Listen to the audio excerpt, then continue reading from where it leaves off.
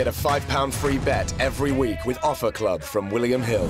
Simply stake a total of £20 or more across the week on pre-match football accumulators with four or more selections, and you'll get a £5 free bet on the Friday. Join William Hill Offer Club on mobile or online now.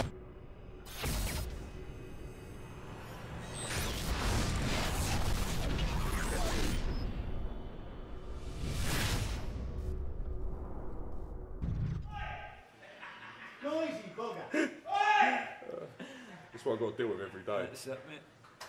James Helder, iFL TV, in association with Macklin's Gym Marbella. We're in Scotland today at the Hydro. Head of Ricky Burns defending his world title against Ki- Rick Hill Relikh. Easy for you to say. Yeah, it's a mouth- bit of a mouthful. How are you? With me, I'm joined by Ross Murray after his third professional victory. How are you, mate? Good, mate. Good. Glad to get that one done and get my first stoppage as well, which was good. So I'm delighted to be on a bill like this. Um, three pro fights and to be fighting on the, uh, in the Hydro and a Burns undercard. You can't complain about that. Talk to me about tonight's win. You stopped him with a good body shot, or knocked him down with a good body shot Yep. first. Yep. Talk, talk me through it a little bit. Ross. Just the first couple of rounds now, speaking to Peter before it, the boy was quite tall and lanky, so he'd been saying to us to go to the body with him. Um, first round, second round, just sort of behind the jab and picking shots, and then third round came out and I, I hit with a good body shot and he went down. Managed to get back up and then just went in and finished him off, him with a couple at the body, trapped him in the corner, and uh, put him down again and he never got up the second time, so delighted with it. You mentioned being on this big card. I mean, it was only a week ago you boxed in Scotland on a smaller show. Yep. So how do you sort of get get back up for it and get yourself motivated after sort of a week off? Just, um, I only took a couple of days off, so I boxed in the Crowne Plaza just across the road actually um, last week, as you say. So it was just a case of that was a Thursday night.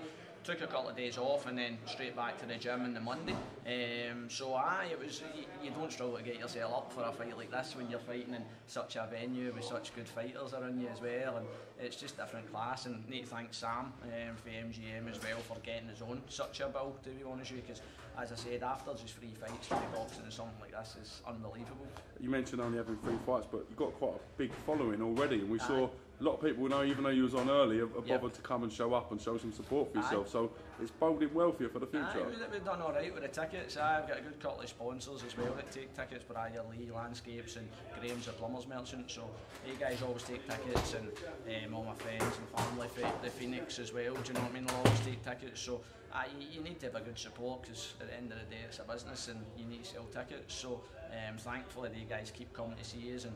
Hopefully, if I can keep on putting performances and getting stoppages, then we'll keep coming back as well. Where do you do the bulk of your training, and who's your main trainer? Glasgow Phoenix, Peter Harrison um, is training. So again, kind of get a better trainer than Peter to be honest with you. Um, so that, that's where all my training's done, and then outside of that, it's just training at the gym myself with Jordan McCorry and Big Paul Muirhead. Um, we do the majority of running and uh, strength and conditioning in the gym with them. So training, training twice a day, five six days a week, you know, as well as working. So it's hard going, but when you mm. get nights like this, it's all worth it. Makes it worth it. One of Scotland's best trainers in Peter Harrison, Yep. well respected, and someone that's been there, done it, and seen it. So I'm sure he's got a pool of knowledge that you sort of learn from being around him day in day out.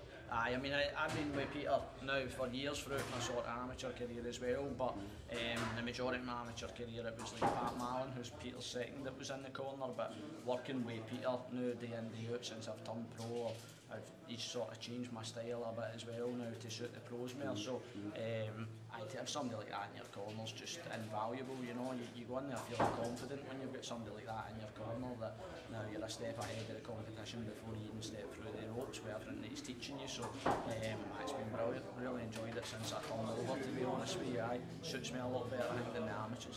We do give our regards to Pete Harrison, and we hope some hear some news imminent on what's going on with his battle to get Scott Harrison back in Scotland, national well, he's treasure. and- back. He is back now. Is he back now? Aye, he is back. So Okay. hopefully now we'll hear some news soon about him getting back in the ring as well. Do you think he'll fight again? Hopefully, aye. aye. I think uh, I don't see why no. I mean, he's um, Scott was different class, you know, when he was um, in his prime, and even when he had his, his his comeback there before things went wrong again, he was still looking sharp. So Good fight with Liam Walsh. It was an interesting was. contest, it? and that was that was taken at some like two weeks' notice as well. And Liam Walsh has been on to prove how good he is. Obviously, fighting Kilmove tomorrow, and Scott Scott took him the, all the way, you know. And I think um, to do something like that on two weeks' notice just shows you that he's still got it. And uh, you see him in the gym, you know, when he, when he was training, you see him in the gym and he's just a machine, you know, he's just he's fat and he's strong and now hopefully if he if he comes back and he gets back to fitness, he can come back and do something because he's probably one of Scotland's best ever boxers, you know. So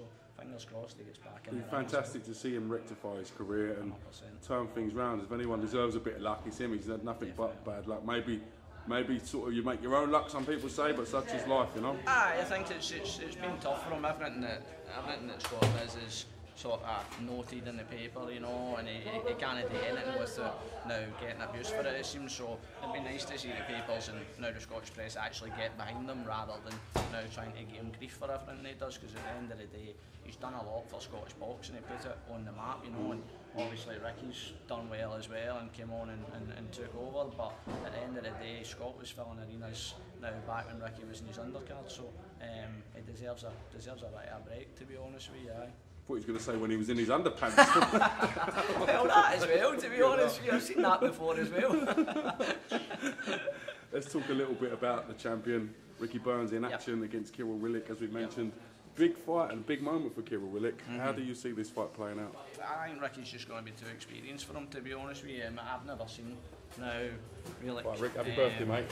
So I, I- don't know much about him apart from obviously he stopped 19 out of 21 guys. So obviously the boy can punch, but um, I think Ricky will just be too experienced for him, too good to be honest. If he if he boxes the way he can box, Ricky, I think he'll he'll win it in points comfortably.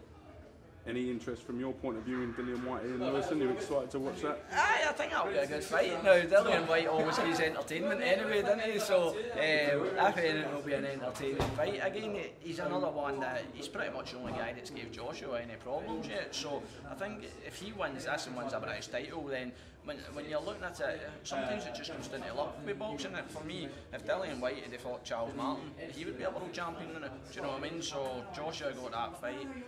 Now, he done well and he's retained his title, but I think the heavyweight division's wide open now. So if Whyte gets this one and then moves on, he's, he seems a top class operator for what I've seen him so far anyway. So he can get this one and then move on to something else, you know. Um, I think it's with Fury and Klitschko and everything that's going on in the heavyweight division now, uh, it is wide open. So good luck to him. Seems entertaining anyway, which is half the battle in boxing, do you know what I mean? So uh, he'll get himself the fights because he'll, he'll talk his way into them. So good on him. Listen, mate, it's really good to get you on the channel and spend a bit of time here. I appreciate you giving me a bit of your time. Things are starting to get a bit crowded, so I'm going to let you get back to your dressing room and your team. Yep. And I look forward to catching you again real Thanks soon. Ross. Good man. Thanks for All your right, time, thanks, bro. James. Cheers, mate. Appreciate it.